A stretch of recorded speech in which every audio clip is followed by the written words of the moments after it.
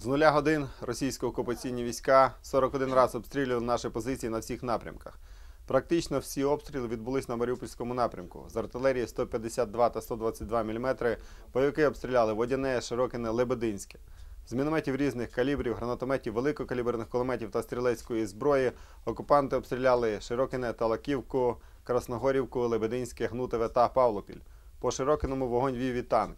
На Луганському напрямку зі 122 мм артилерії бойовики обстріляли Новотошківку, з мінометів Новозванівку, гранатометів та стрілецької зброї, станицю Луганську, Новоолександрівку, Новозванівку і Лопаскіне. На Донецькому напрямку з 82 мм мінометів окупанти вели вогонь поблизу Луганського, а в районі Авдіївки з гранатометів різних систем, великокаліберних кулеметів та стрілецької зброї.